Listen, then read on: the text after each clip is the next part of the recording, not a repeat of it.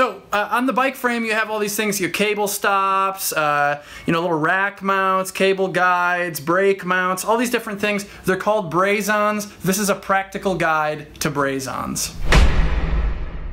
So they're called braze-ons. It's because you braze them on, right? So these are my little brazing clamps that I make for that specific task. And uh, so they're just these little pieces of, of material, right? And you have cable stops. You have, um, know, this is a, got a cable guide in it. These are cable guides. You can zip tie a, a you know, brake housing or something onto your frame with that mount. Uh, you know, there's brake mounts. These are the uh, the seat binders that you know when you put them on and you tighten the screw, then then it clamps your seat post on the frame. Uh, yeah, brake mounts. This one here is a crown race seat for a fork. Uh, these are reinforcers for um, for you know like these here are your water bottle bosses for where you want to mount a water bottle cage, and if you want to reinforce around those, then you can put one of these on, or sometimes I would use a washer that I had stamped into a into a uh, round profile.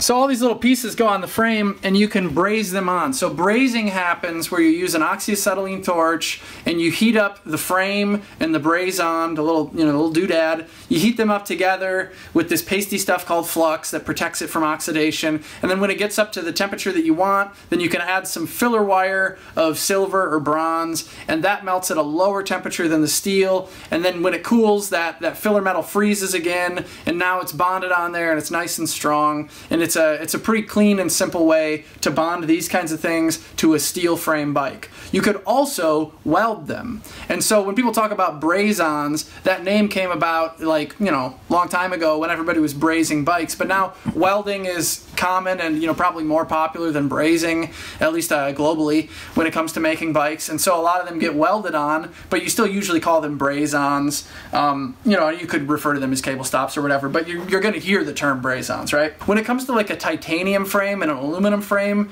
uh, you generally don't have any choice but to weld them. So sometimes you can rivet things on in these other frame materials, or if it's like a carbon frame, you might epoxy it on. Uh, I think I've heard about brazing with aluminum, uh, which I don't know if that's like viable or if that's just sort of like a kooky idea, but there's no application. I don't really know that much about it, but I've heard of it.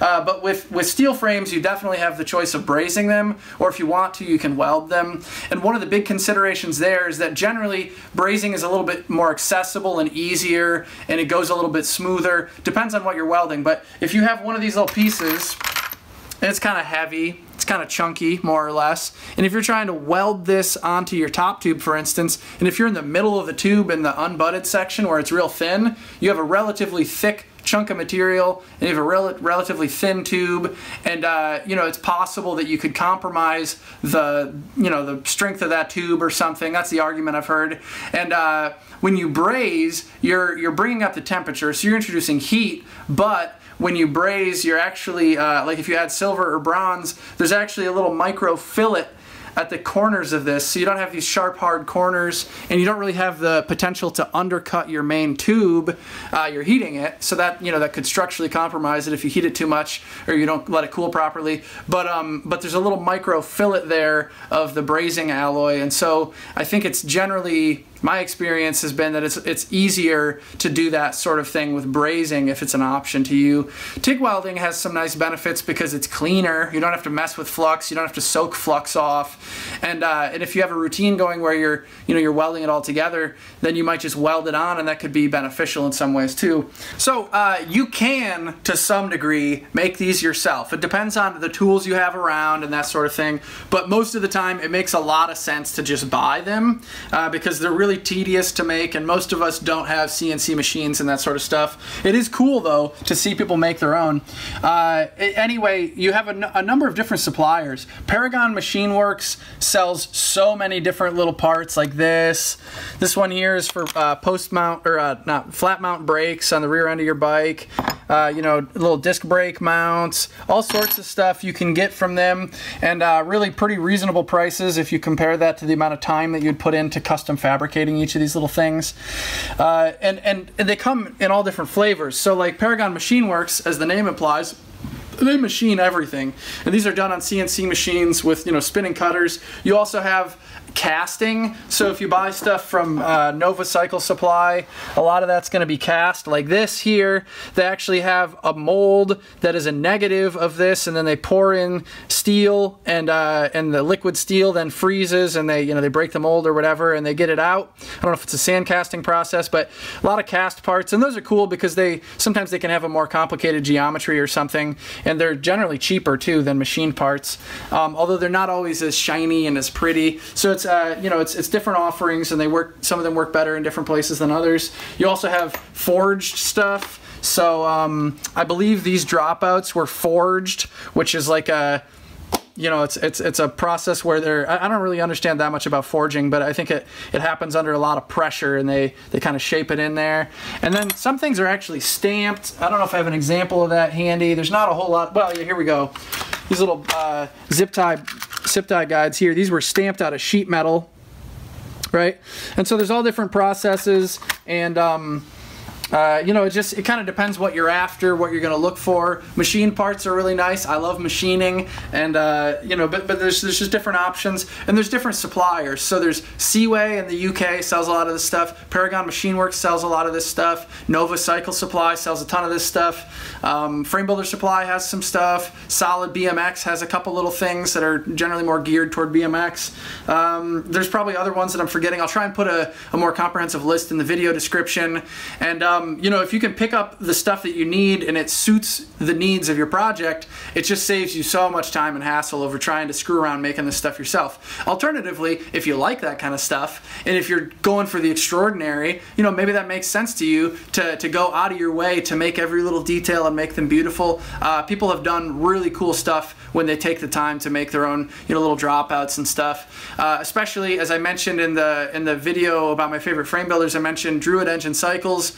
Drew has CNC machines. He has he works with Peter Verdone a lot to get parts designed to meet his specific needs. You know, he's thinking critically about the design and the stuff off the shelf isn't always right, so he'll work with Peter, he'll get a better design that suits his needs better or that just maybe reflects his aesthetic or both. And then he'll uh, he'll machine it and put it into his frames and I think that's awesome. You know, I think when you're going through the trouble of building a custom bike, it is not out of the question to go just kind of nuts into the details if that's what you want to do. On the other hand, it takes a lot of time and a lot of resources to do that kind of stuff and sometimes just picking up a little machine part that has a lot of engineering and design into it for like eight bucks or something, that's uh, that's a can be money really well spent if it frees you up to focus on other things that maybe are more important to the big picture of what you're trying to do. So hopefully that's all the information you need to know to get up to speed on what Braze-ons are and the applications that they're generally found in. If you're making bikes and you don't have a set of these brazing clamps, you should consider picking these up from my web store. They just, you know, while you're brazing these little things on, for years I was screwing around when I would make bikes and I wouldn't have just the right clamp and it's really frustrating. These things, you get them up to temperature, they're hot and then your clamp slips and the part falls on the floor and now it was clean metal and it had this flux on it. It's it's like 900 degrees. It's on the floor. You're in the middle of your braze. Uh, all the dirt and crap on your floor is sticking to the, the flux on your thing. And, you know, just having good clamps really allows you to do better work. And these are designed to, to solve specific problems. So these aren't going to work in every instance in every single application, but they work well in a lot of applications and they work better than some of the other options in specific applications too. And uh, yeah, check out my video about these and uh, buy a pair of them in my web store if you're into them. Thanks for watching. Hit that subscribe button and we'll see you on the next one.